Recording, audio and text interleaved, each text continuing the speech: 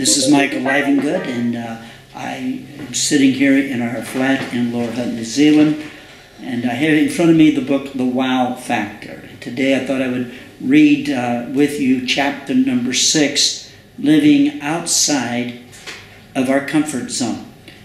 Uh, passage of scripture that I base this chapter on is chapter number two of First John and verse 27. But his anointing teaches you all things and John 5 and 39, search the scripture. Living in revival is one of the greatest privileges a person can have given to them. It can also be one of the most challenging things a person can ever face. I believe pastoring a revival is God's goal for every pastor, but it can also be an incredibly challenging thing. I sat with a denominational executive during the revival of the 1990s who told me he was receiving the most incredible stories in his nearly 30 years in his office. Churches were experiencing the greatest moves of God they had ever known. It was wonderful. However, not every phone call brought reports of glory. Some pastors describe the white water ride of revival to be a bit more than they had bargained for. In the little book by James Byrne that I mentioned in a previous chapter, he outlined not only the conditions preceding revival, but also the events that follow revival. Two of those events were phenomena and opposition. It seems God refuses to live inside the boxes we construct for Him? Every church has a box. Every church has an ethos and a code of conduct they expect God to maintain. I do not mean to insult anyone with the following illustration, but if you bear with me, I believe you'll understand the point I am trying to make. When God goes to a what is called a high church, he is expected to behave in a particular manner. The outline of the service is usually placed in our corporate hands. We know when to stand, to sit, to pray, to repeat, to listen. I was praying with a pastor from such a church who suddenly cried out, Oh God, please do something that is not in the bulletin.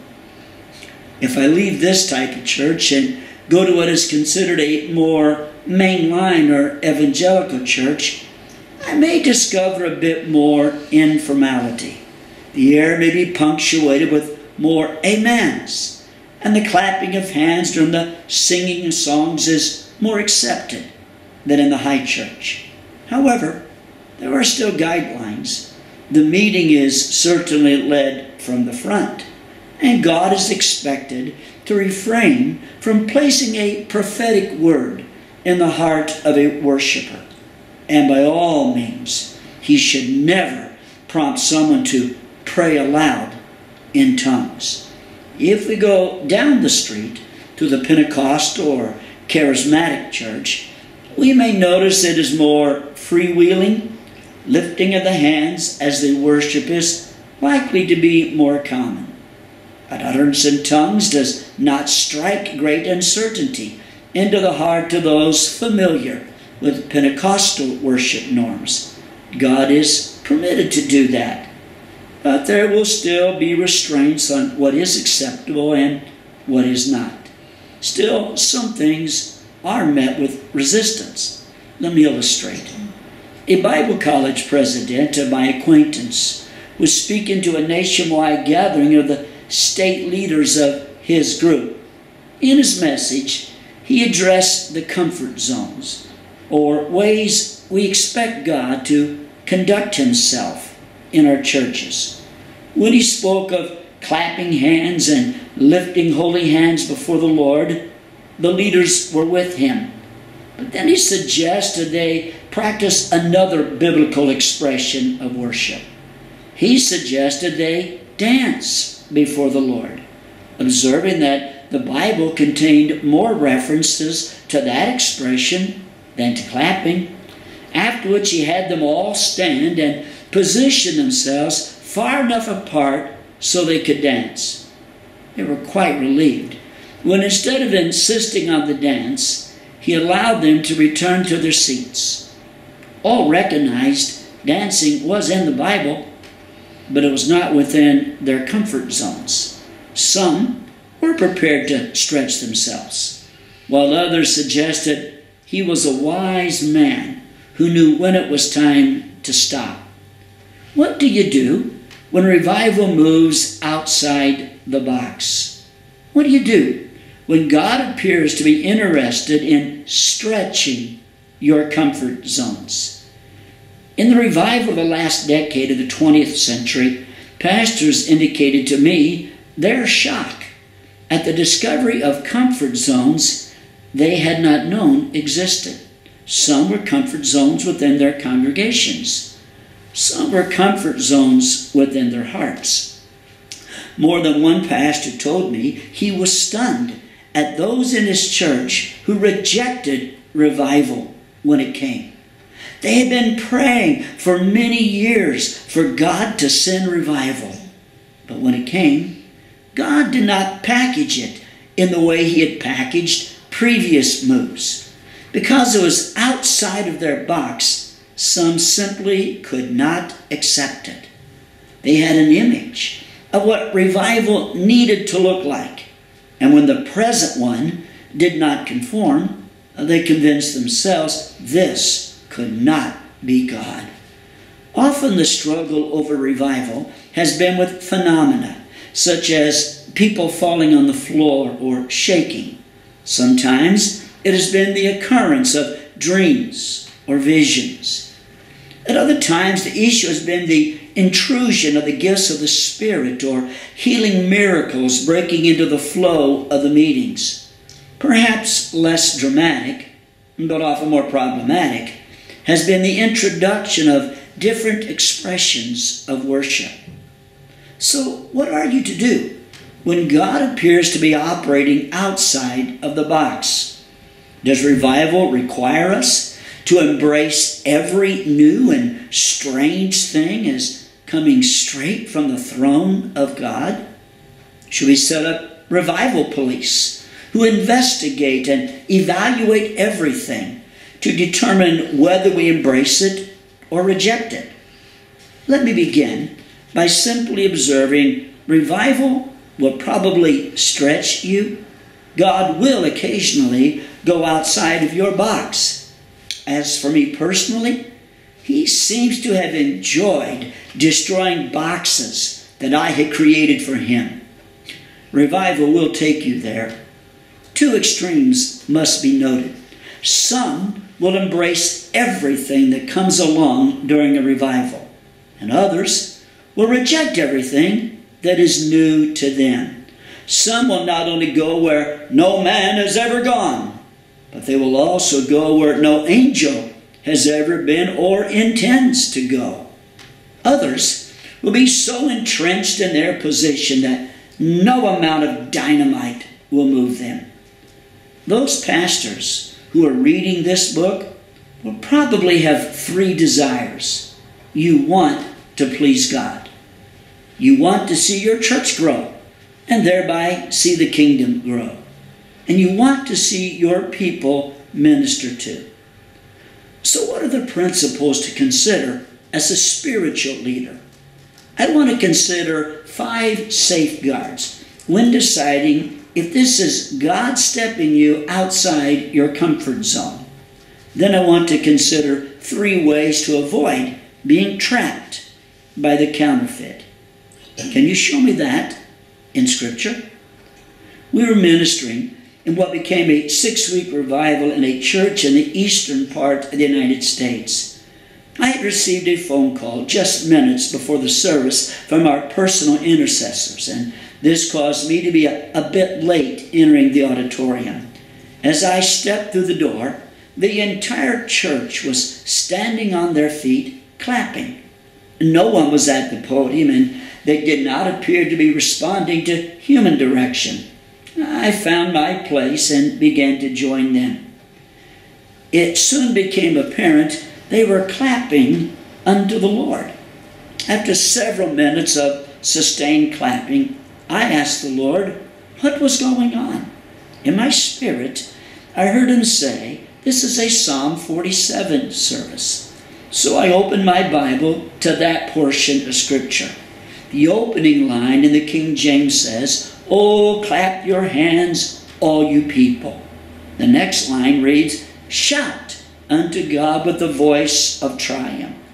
Just as I was reading this phrase, the congregation broke into spontaneous shouts of worship to the Lord. Thinking to myself, this is interesting, I continued to read the psalm. Verse 3 says, He shall subdue the people under us, and the nations under our feet. As I was reading that line, the entire congregation broke into dancing or jumping before the Lord. Verse 5 begins with, God is gone up with a shout. Sure enough, after a few minutes of exuberant dancing, the congregation again lifted the rafters with shouts. By now, I was fully engaged with the chapter. The next line in verse 5 reads, The Lord with the sound of a trumpet. I said to the Lord, I've got you there because I'm the only trumpet player in this auditorium, and I do not have my trumpet with me. Just as I was saying this to the Lord, the man on the keyboard, whom I had judged as being fairly carnal, pushed a few buttons on the keyboard and began to only play one key at a time. And yes, you guessed it, the sound coming from the keyboard was that of a trumpet. I turned to the pastor, who was standing next to me, and told him, I know what is going to happen next. I showed him the flow of the scripture, and he saw how it related to the pattern of the service. I said the next thing that should happen, according to verse 6, is singing. Because that verse reads, Sing praises to God, sing praises. Sing praises unto our King, sing praises. As we were looking at that verse, the entire congregation, roughly 135 that morning, broke into the same song. Now, all of this happened with no one standing at the podium giving directions to the meeting. It was a morning where it appeared God did church the way He wanted to do it. The purpose of telling this story is to emphasize the role of Scripture. When the service took on a flow that was not the normal pattern, God took me to a passage of Scripture that explained what He was doing at that moment. Revival will have those moments that are not ordinary. In those moments, there will be a, balance and support between Scripture and Spirit. Normally, the Scripture, which is the foundation of all we do, will support or explain the activity of the Spirit.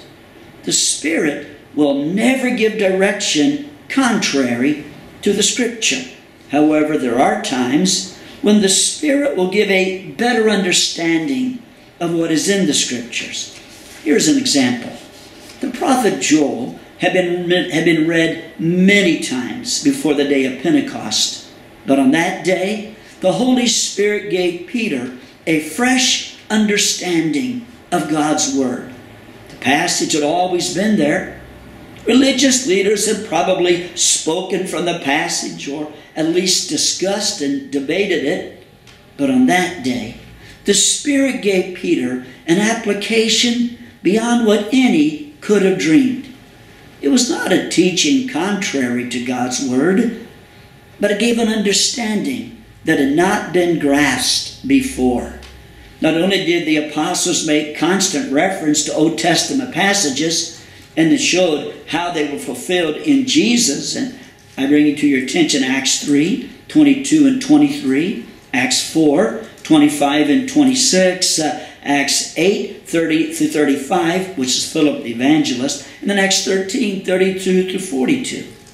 But it also, uh, the apostles also gave the combination of the Spirit acting with or on the Word. And this gave them the understanding as to what they were to do.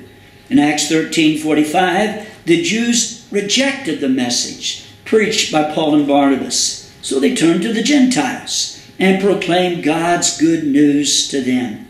This turning to the Gentiles was not only based on the rejection by the Jews, but in Acts 13 47, by a revelation or understanding of Isaiah 49 6.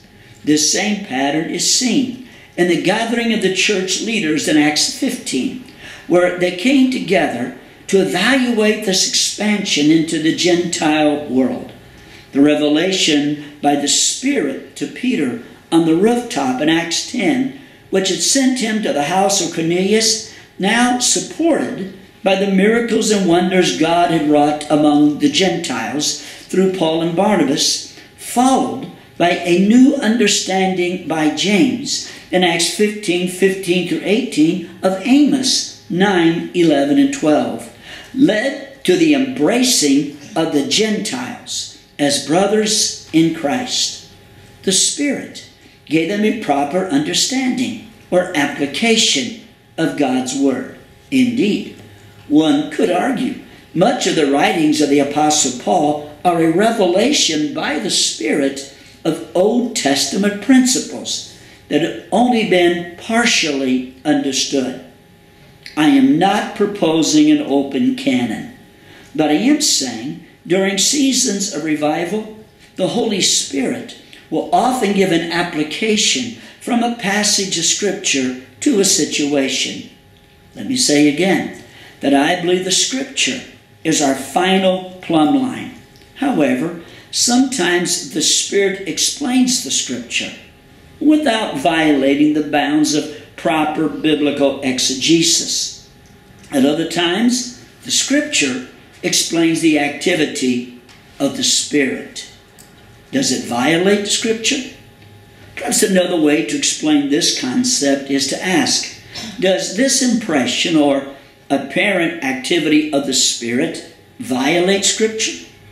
Is there either plain Scripture that indicates this activity of the Spirit is wrong? Or does this so called activity of the Spirit violate the principles of Scripture? When I'm evaluating a possible leading of the Spirit during a service, I look for plain Scripture from the Lord. If that is not there, I ask myself, does this leading run contrary to the nature of Scripture? The great Apostle John, under the inspiration of the Holy Spirit, closes the Gospel bearing his name with these words. And there are also many other things which Jesus did, the which, if they should be written every one, I suppose, that even the world itself cannot contain the books that should be written. Hebrews 2 3 and 4 tells us the message of salvation, which at first began to be spoken by the Lord and was confirmed unto us by them that heard him. God also bearing them witness, both with signs and wonders, and with divers miracles and gifts of the Holy Ghost, according to his own will. The principle I am trying to explain is the scripture is not a straitjacket. But we need to be careful here. John says Jesus did many things that were not recorded in Scripture. The writer of Hebrews indicates it was the combination of the spoken message and the signs and wonders which served as confirmation. I do not necessarily need chapter and verse to tell me a particular action is acceptable. However, that action will never violate the spirit of the scripture. Let me illustrate. Revival is often preceded by and nurtured by intercession. My wife has led groups of intercessors. She and I together have led scores, if not hundreds, of prayer meetings over the years. Sometimes an intercessor will be led by the Spirit to do a prophetic act or a spirit led illustration. During a prayer meeting which occurred in a 15 week revival, I was strongly impressed. There would be people in the meetings that week who were in bondage to sin. I had a sense it was like they were trapped behind a gate or fence, and that we needed to open the gate so they could be released to come to the altar. I asked the prayer warriors to stand at the end of each row of seats and in the name of Jesus to open an invisible gate and allow the sinners to come through the gate to the altar. My mind and spirit were drawn to Isaiah 45 1 through 3, which reads in the King James Thus saith the Lord to his anointed, to Cyrus, whose right hand I have holden, to subdue nations before him. And I will loose the loins of kings, to open before him the two leaved gates, and the gates shall not be shut. I will go before thee, and make the crooked places straight. I will break in pieces the gates of brass, and cut in sunder the bars of iron. And I will give thee the treasures of darkness, and hidden riches of secret places, that thou mayest know that I, the Lord, which called thee by thy name, am the God of Israel. I understood contextually that this was a word that God was going to use Cyrus to restore the Jewish people from bondage. God was going to go before Cyrus and would favor him with wealth and power. I did not feel it violated the spirit of the passage to ask God to open the gates or break in pieces those things holding the sinners captive that week and allow them to experience the treasures of his kingdom. It became a great week of people getting saved. On the other hand, I am aware people may abuse this application of Scripture. Intimacy can be an important part of intercession. I have been told of some who felt they needed to illustrate God's desire for spiritual intimacy with His people by engaging in sexual activity. Such activity is a clear violation of thou shalt not commit adultery. And it is something the Spirit of God would never, and I underscore never do. I do not care how many angels danced on the head of the pin. If what they told you to do is contrary to Scripture, do not do it. Does your spirit bear witness? Not every thought that crosses my mind comes from God. I have to sort out the source of the thought. Did it come from my own, often very active mind? Did it come from something someone said to me earlier? Did it come from an evil spirit? Did it come from the Lord? We're given a wonderful promise in 1 John 2 27. As for you, the anointing you received from him remains in you, and you do not need anyone to teach you. But as his anointing teaches you about all things, and as that anointing is real, not counterfeit, just as it has taught you, remain in him. We have been given an anointing from him, and that anointing will teach us. Learn to listen to that anointing that is inside you. This anointing is not the same thing as your mind. Proverbs 20 27 describes the spirit of man as the candle of the Lord. There is a quiet voice that will speak to us from deep inside. It is where the Spirit of the Lord lives. Learn to pay attention to that voice. Never violate it. Sometimes this witness is also buttressed by your personal experience. Let me illustrate what I'm saying. During a month long revival in southern Illinois, I had an encounter with the travailing part of intercession. The pastor called for a day of fasting and prayer while we were praying together over the lunch hour, I found myself in a fetal position in a side aisle weeping.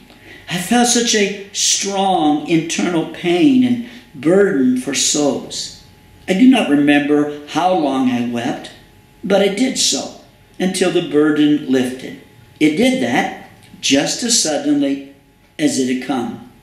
The following Sunday saw the greatest response to salvation during the entirety of that month.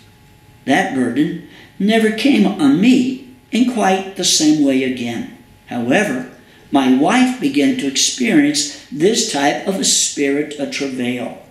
My personal experience and witness assured me and her she was not losing her mind.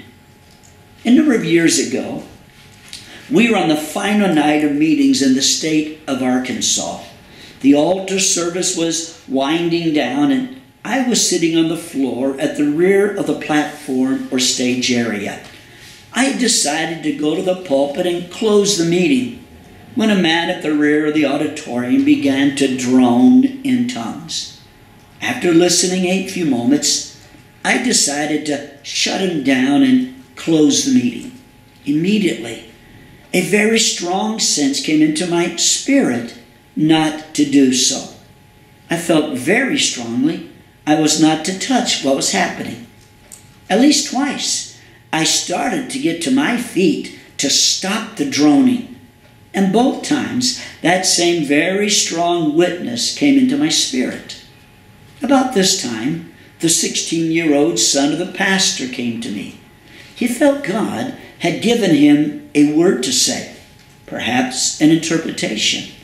Once again, that very strong inner witness indicated I should give him the microphone. So I did. I do not recall what he said, but as he was speaking, people began to return to the altars. Much weeping broke out.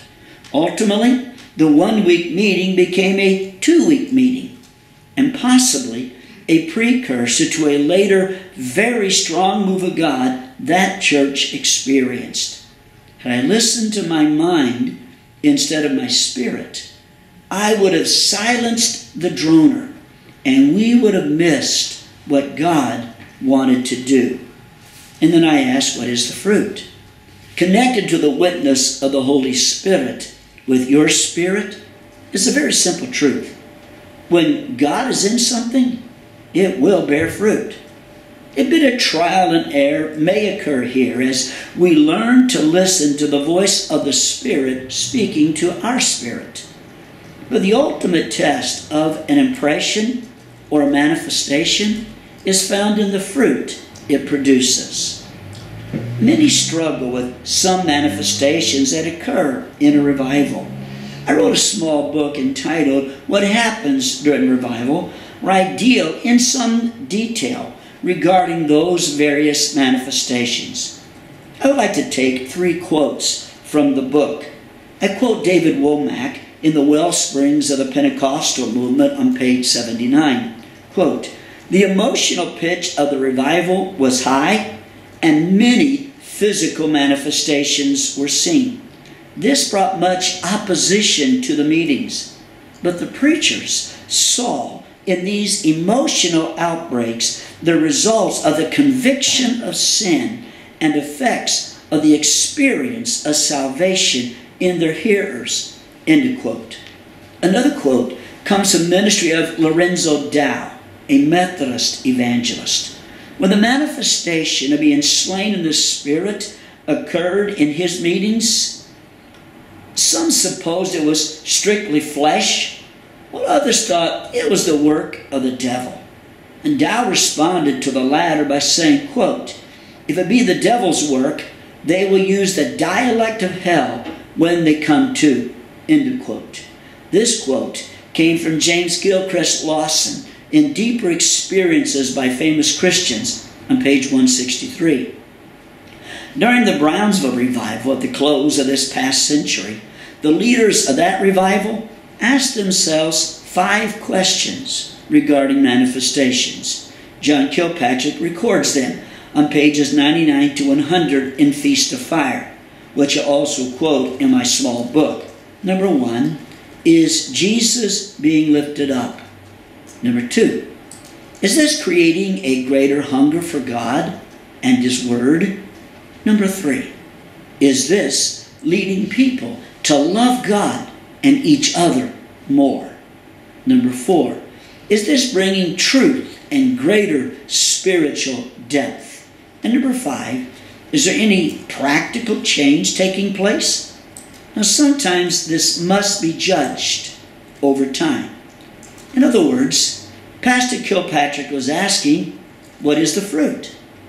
According to Jesus in Matthew 7 15 to 20, the fruit tells us the source. Fruit is not, Do I like it? Rather, it includes the list above. Are they falling more in love with Jesus? Are they becoming more like Him? Has their hunger for Him increased as a result? One of the more unusual services I ever experienced occurred while I was serving as a pastor.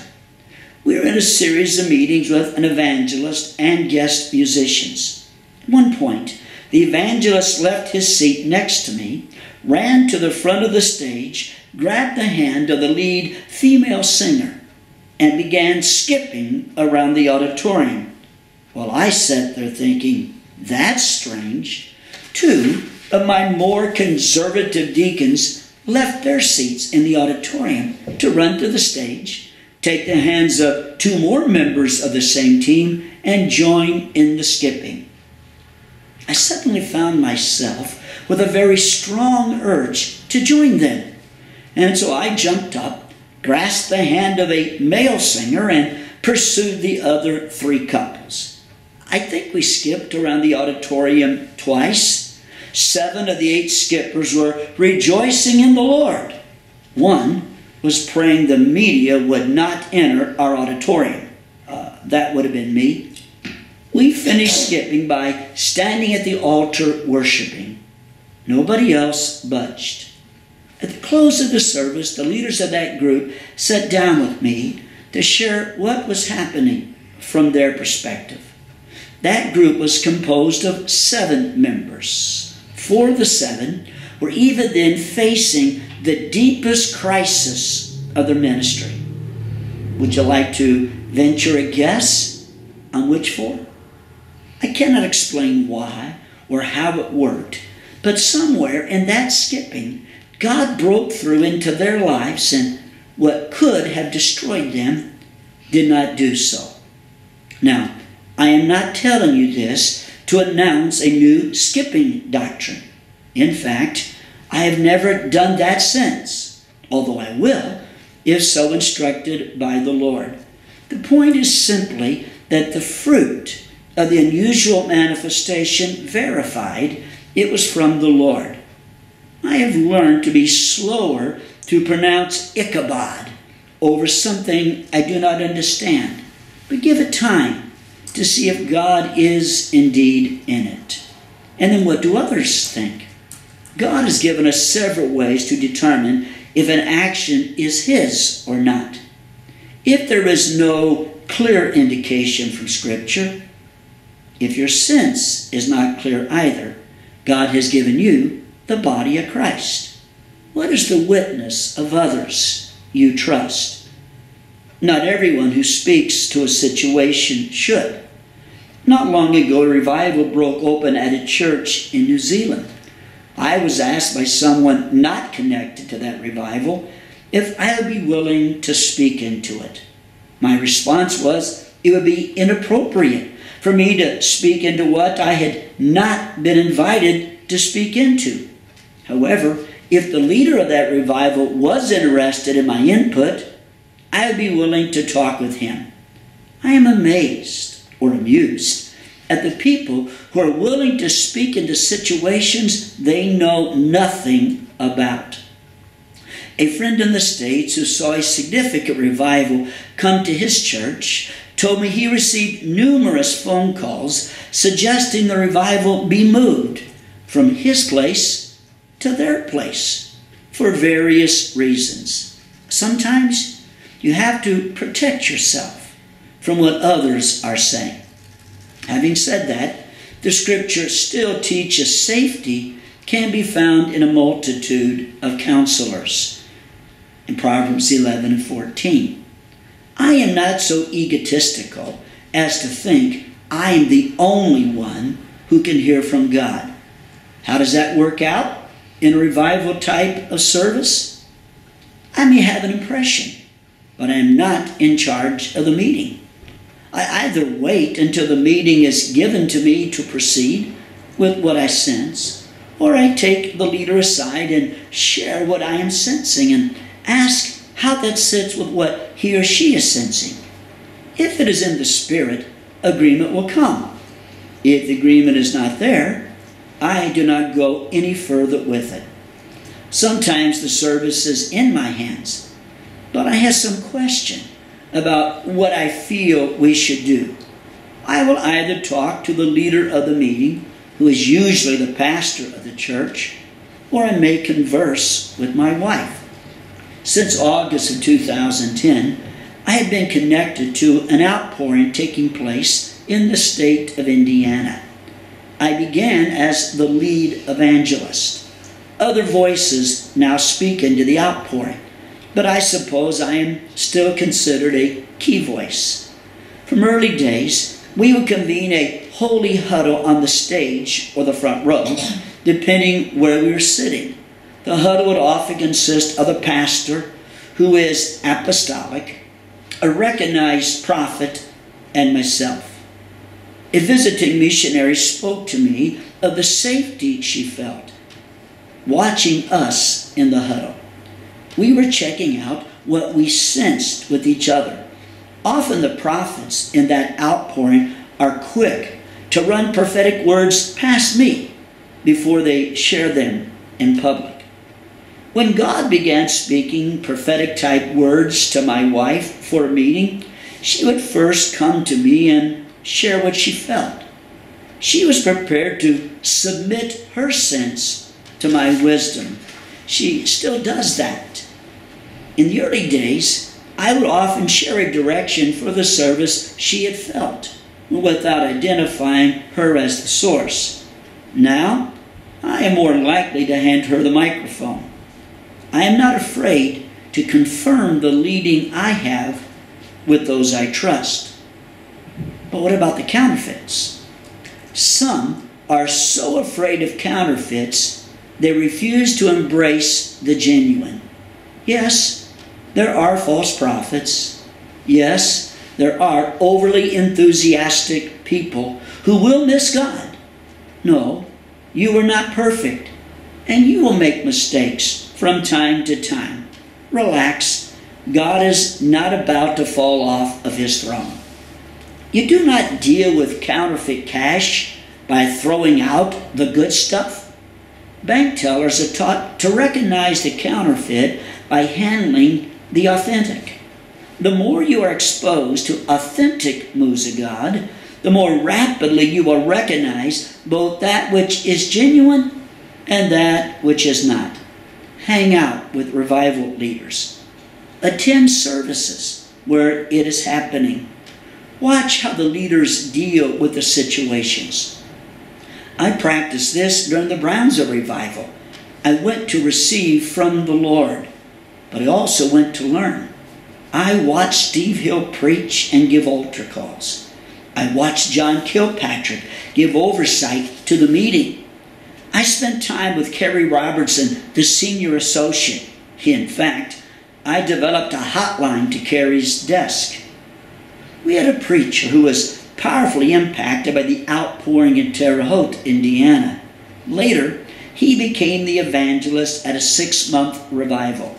He told me when confronted with situations in the service where he did not know what to do, he would ask himself, What have I seen Michael do in these situations? Learn from the authentic, and you will not often be caught up by that which is not. To avoid the counterfeit, spend a great deal of time in the Word of God. Live in it. This means more than knowing a few random verses.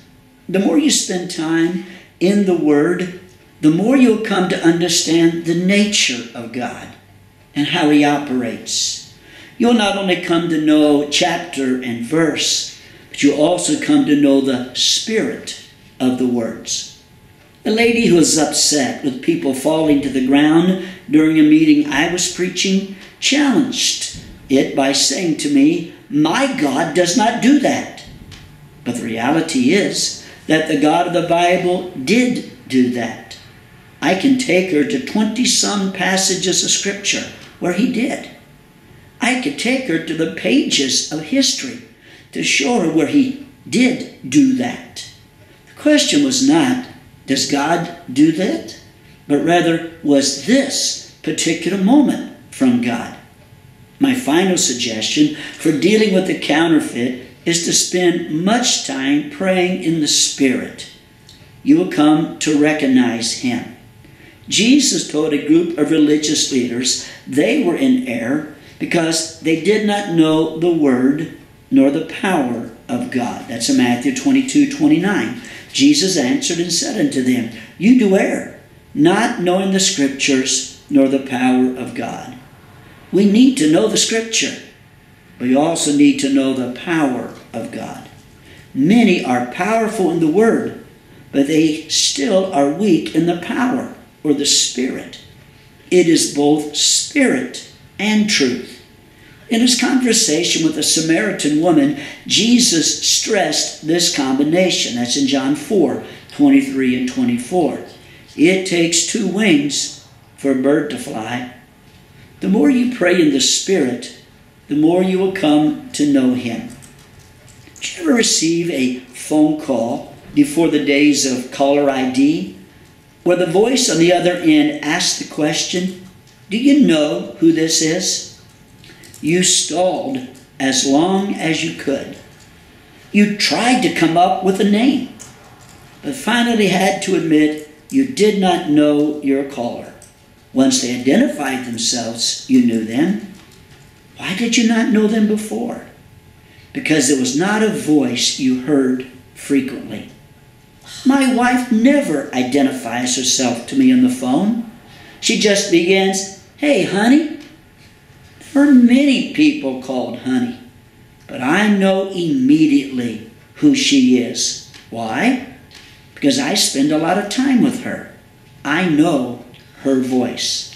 Some years ago, my secretary was told I believed a certain thing. She responded by saying to the person, I will categorically deny he said that or believes that. She went on to say, I know him and I know he does not think that way. Now, I have no idea what I was supposed to have believed or spoken. One who knew me knew it was not so. I encourage you, spend much time praying in the Spirit and hanging out with Him. You will come to know how He thinks, feels, and acts. The counterfeit will not impress you. Well, I have been reading from my new book, The Wow Factor More Adventures in Revival. And you can get this book uh, several ways. You can uh, go to our website, uh, either MikeLivengoodMinistries.com or DoorkeepersNewZealand.org. Uh, and on both websites, there's a place there where it says uh, uh, The Wow Factor, and you can touch that place. You can connect there and it will take you to a page that will tell you how you can place the order and uh, the required cost, and we'll be glad to ship the book to you. Or you can also order this book on Amazon, and they will send it to you. Or thirdly, you can drop us a, a letter and, and request the book, and we'll be glad to send you this particular book. We want it to be a blessing to you. Here's an idea, and maybe the some that are watching this I would love to get a book and give it to a pastor friend as a gift uh, or another friend in ministry. Maybe some of you have a child who's preparing to enter ministry, and they may find this book to be a great resource to them, and you can bless them by obtaining it for them. Well, I look forward to gathering together with you again in just a few days to read the next chapter of the book, The Wow Factor, and we're going to move to another section of the book and this next section, we're going to begin a series of case studies where I will actually analyze revivals that I am familiar with And I believe you will find that part of the reading to be fascinating. So I want to encourage you to pay attention to when we go on, whether you're watching this through Facebook or you're watching this on the YouTube. Uh, I look forward to sharing with you again very soon. God bless you.